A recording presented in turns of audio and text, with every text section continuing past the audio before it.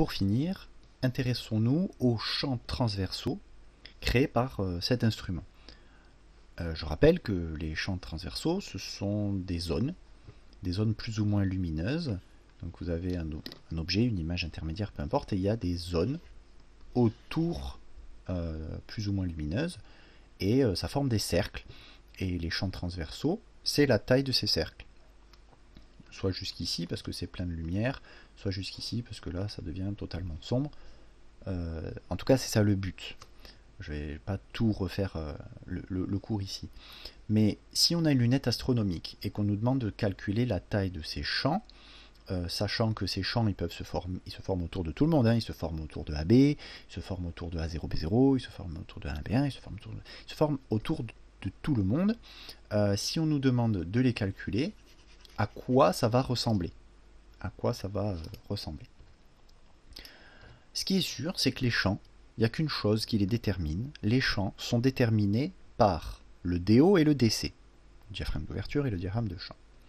Donc, il faut savoir où ils sont, très important pour arriver à faire nos calculs. Dans une lunette astronomique, le diaphragme d'ouverture, c'est la monture de l'objectif. Et le diaphragme de champ, je vais le mettre en vert. C'est quasiment tout le temps, donc on va partir sur ça quand même, c'est 95% du temps, le vert de champ de l'oculaire. Pas le vert d'œil, le vert de champ. C'est quoi le vert de champ? C'est la toute première lentille dans l'oculaire. Donc c'est ici, c'est ce qu'on a appelé L.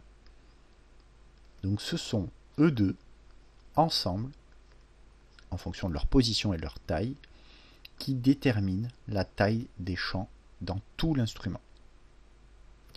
Alors imaginons qu'on nous demande de calculer euh, la taille euh, du cercle euh, plein de lumière, plein de lumière, la pleine lumière.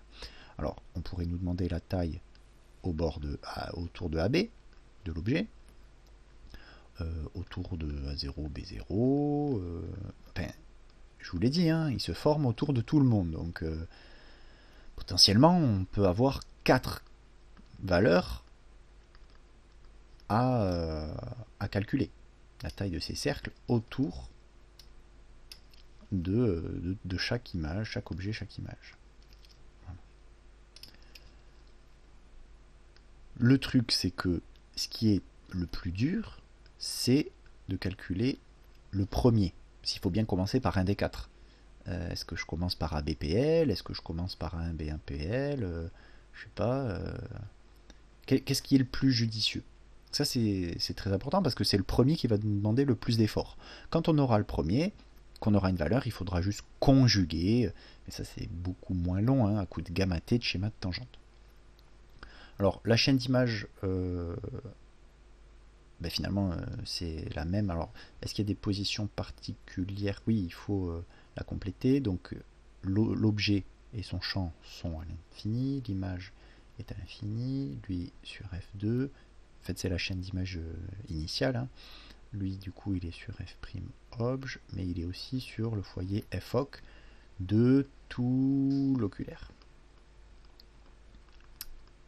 Puisqu'on a besoin pour calculer un champ de savoir où il est placé.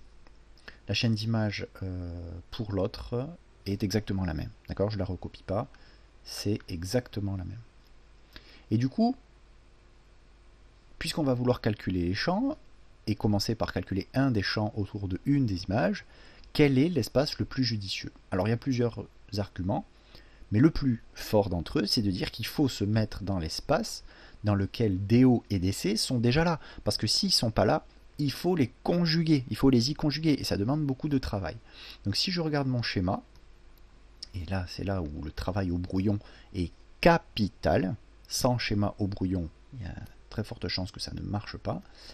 Euh, où est-ce que j'ai DO et DC ben, La seule zone où je vois DO et DC, moi, dans mes, schémas, je le vois très bien ici, c'est là. Voilà. Là, dans cette zone bleue que je colorie, il y a DO au tout début et DC à la toute fin. Mais c'est bon, ils sont là. Si je me mets ailleurs, il n'y aura pas DO, si je me mets ailleurs, il n'y aura pas DC, ça ne va pas aller. C'est le cas euh, d'ailleurs euh, peu importe le type d'oculaire, hein, c'est pas ça qui va décider. Donc clairement, la zone que je dessine en bleu, c'est la plus judicieuse. DO et DC sont déjà là. Donc on va le marquer. Euh, espace entre Lobj et L1, DO et DC y sont déjà présents. Mais ce n'est pas parce qu'on prend la même zone que le schéma pour les deux instruments va être euh, le même. Euh, ça, on, va bien le regarder euh, ensemble. Ne faut pas croire que pour l'oculaire positif et pour l'oculaire négatif, on va avoir le même type de schéma des champs. Non, non, non, ça c'est pas vrai, donc on, va regarder. Pourquoi? Alors, bah, en fait, vu qu'on a bien compris dans quel espace on peut travailler, on peut faire une sorte de, brouillon. Hein. C'est pas vraiment ça qu'il faudrait faire sur la copie. Après, il faudrait choisir une échelle, tout mettre euh, avec les vraies distances et tout. Mais au brouillon, et c'est bien là le plus important, on aurait donc euh, un DO un DC. Donc je vais les matérialiser. J'ai bien compris qu'il y avait DO à gauche et DC à droite. Puis après, je vais, je vais compléter. Donc je vais mettre un DO à gauche ici ben, je vais le mettre tiens, juste au-dessus de juste en dessous de DO. Un DO tout à gauche ici, je disais. Même couleur, rouge. Hop, hop, Et tout à droite, un DC. Je vais le mettre juste à la verticale de DC pour que ce soit bien évident. Voilà. Euh, bon, je sais pas quelle taille il a. En général, il est un petit peu plus grand. C'est vraiment par principe. Hop, ici, il est là, tout à droite de la zone. Voilà. Et voilà. Donc je sais que ça va se passer euh, là, qu'il n'y a pas d'autres diaphragmes importants, puisque les seuls diaphragmes qui comptent pour les champs, c'est le DO et le DC. Donc, euh, et puis la monture de L2, alors surtout, faut pas la mettre, la monture de L2, elle n'est même pas dans la zone bleue. La lentille L2 n'est pas dans la zone bleue, donc il faut surtout pas la mettre, il faut surtout pas l'y conjuguer. On a hauts et des C, tout va bien. C'est eux qui font les champs. Maintenant, euh, les champs, ils vont se former autour d'une image. Il va falloir calculer la, la taille, mais bon, pour ça, il faut savoir exactement où c'est.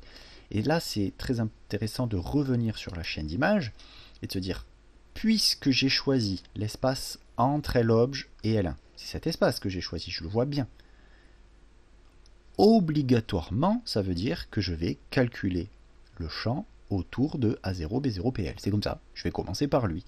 Après, je pourrais avoir les autres si je veux, mais en tout premier, je suis obligé de commencer par lui.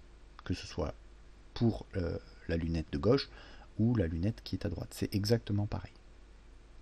Or, si les champs que je veux calculer se trouvent sur A0, B0, autour de A0, B0, je sais très bien où il est A0, B0. Il est sur FOC f'obj foc. Et je le vois bien aussi sur mon schéma. Je vais le matérialiser ici. Je l'ai dit, euh, on l'a dit euh, tout à l'heure. Ici, A0B0, il est réellement là. Il a son champ autour de lui. Alors que là, A0B0, ben, il est sorti de sa zone, il est virtuel, et il a aussi son champ autour de lui, mais il est virtuel. Donc, pour l'autre, parce que l'oculaire est négatif dans l'autre cas, on voit qu'il y a un petit bout, oups, voilà, qui va ici appartenir. C'est ça qui est très important. A0, B0 dans la lunette de droite, il n'est pas dans la zone bleue, mais il appartient à la zone bleue. Il appartient à cette zone, donc il en fait partie virtuellement. Du coup, on voit que A0, B0 pour la lunette de gauche, bah, il est entre DO et DC. Donc méchant, je ne sais pas quelle taille exactement ils ont, mais ça va se passer à peu près euh, comme ça. C'est ici que ça va se passer, hein. je ne sais pas encore à quelle hauteur. Voilà. Alors que, et c'est ça la grosse différence, dans l'autre lunette, j'ai pas mon 0B0 dans la zone, je l'ai à l'extérieur. Ici. Donc mes champs vont se former là. Et on n'a pas du tout le même ordre. Voilà. À gauche, on a DO, plan des champs DC. alors qu'à droite, on a DODC, plan des champs. Si on se trompe, on a tout faux pour l'intégralité des champs. Donc voilà. Et on voit à quel point c'était important d'avoir la chaîne d'images sous les yeux, le schéma sous les yeux, de réfléchir, de colorier, etc. Parce qu'après, une fois qu'on a ça, bon ben on rajoute les distances données dans le sujet, on dit voilà, là il y a 20 mm, là il y a 30 mm, mais c'est pas le plus dur. C'est une fois qu'on sait ce qu'il faut placer, on y arrive. On va faire les 5 droites euh, pour voir aussi ben, que ça fait pas tout à fait la, même chose hein, du coup, c'est pas le même ordre. Alors je prends ma règle. Bon, je sais déjà qui est le déo, mais je vais faire semblant de ne pas savoir. Oh là là, je ne sais pas. Alors, je lève ma règle depuis le plan des champs. Qui je touche en premier? Oh, déo. Je m'y attendais pas. Donc voilà, première droite. Depuis le centre du déo, si je ne sais pas qui est DC, je relève la règle depuis le centre du déo je vais toucher un diaphragme. Le premier que je touche, c'est DC. Ah oui, en effet. Voilà. Ensuite, je dois relier les deux bords du déo, le bord du haut et le bord du bas, euh, ADC. Alors on y va, bord du haut, bord supérieur du déo, relié ADC, bord inférieur du déo relié à DC. Je fais une petite pause parce qu'il m'en faut 5 et là j'en ai fait que 4, mais ce qui est intéressant c'est que je peux déjà m'apercevoir que là, ça y est, j'ai mes bords de champ. Jusque là, euh, donc ça c'est A0 et ça c'est B0 PL, ça c'est B0 moyen et après B0 total, hein, le champ total toujours le plus loin de l'axe optique. Donc voilà, ils sont dans cet ordre-là. Ma cinquième droite, c'est si je voulais voir le faisceau de pleine lumière, je voulais le assurer. Donc je prends ma pleine lumière, que je sais, que je connais maintenant, et je la relie à l'autre bord du déo. Donc c'est celle-là, ma cinquième droite. Hop. Et voilà. À quoi ressemblerait dans l'allure? Après, c'est juste les valeurs qui changent, mais dans l'allure, c'est sûr, ça ressemblerait euh, à ça. C'est pas du tout le même, la même chose euh, dans l'autre oculaire avec l'autre oculaire, puisque partant du plan des champs, levant ma règle, je vais découvrir, si je ne le sais pas, qui est le déo. D'accord, c'est bien lui. Puis, du centre du déo, je vais lever ma règle, je vais toucher en tout premier le DC.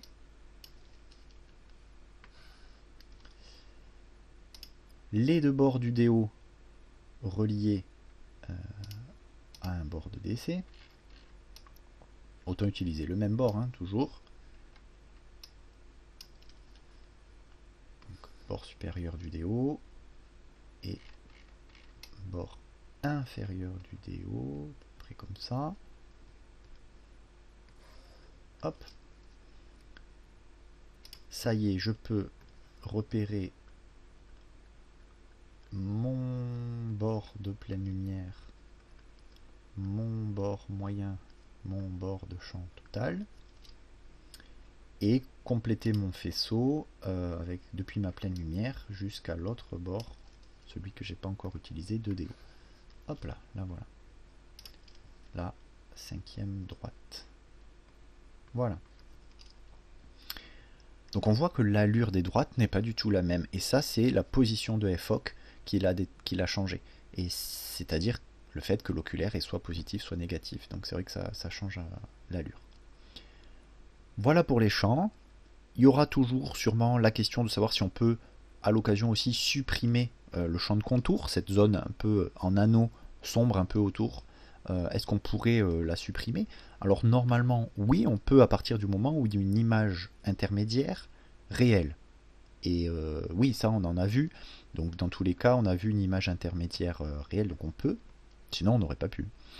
Euh, qui c'était euh, Dans l'oculaire positif, c'est A0B0, qui est une image intermédiaire réelle. Donc, on n'a qu'à mettre le diaphragme là où elle est, donc sur F' obj, Foc, qui sont confondus. C'est là qu'il faut mettre le diaphragme.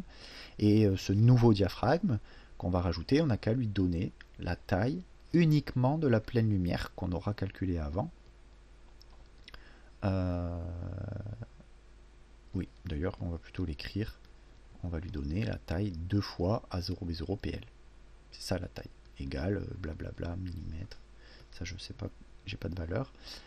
Dans l'autre lunette, c'est pas A0B0 qui est réel. On voit que, encore sur le schéma, euh, qu'elle est virtuelle, c'est plutôt A1B1. Donc là, c'est plutôt sur A1B1, image intermédiaire réelle. Quelle position? Ben, La position de A1B1, donc en F2. Et quelle taille? Eh bien 2 fois A1B1 PL. Voilà, sur le principe, sans aucune valeur numérique, l'ensemble des questions générales et de la manière euh, d'y répondre pour la lunette astronomique.